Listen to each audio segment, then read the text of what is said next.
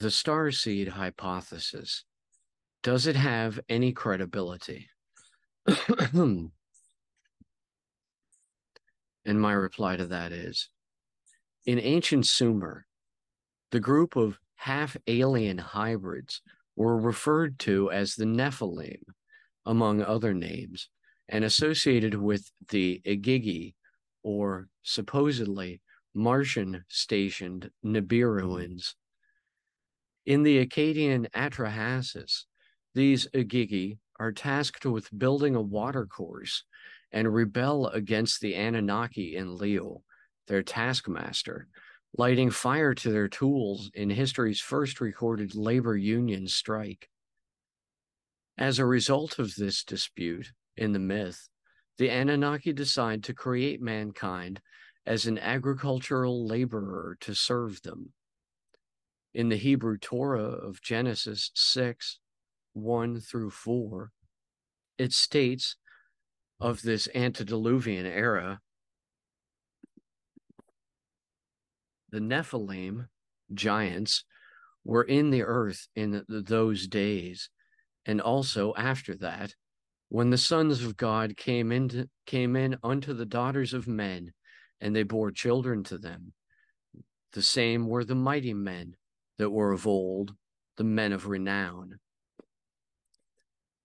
Here, the sons of God are usually interpreted to mean the fallen rebel Anunnaki gods or the Igigi of Mars, who sired the Nephilim as half breed giants on the daughters of men. Nowadays, star seeds are the term used by the New Age believers for supposed half breed offspring sired on human women by the gray aliens popular nowadays.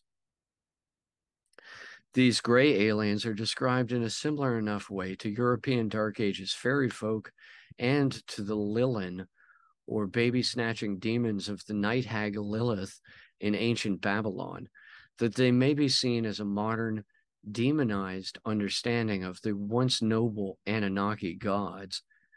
However, the hybrid offspring of these gray aliens with human abductees appears to be a phenomenon more closely related to the conspiracy theory of reptilians rather than of indigo children.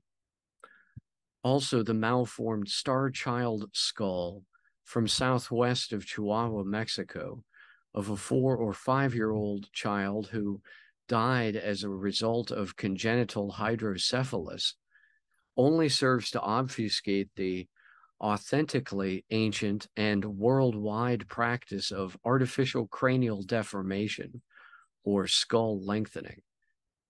In fact, the resemblance between the Kurgan culture's long skulls from the Black Sea region and the depictions of the seven Apkallu fish headed or winged sages of ancient Mesopotamian religions is, although often overlooked, a fascinating similarity.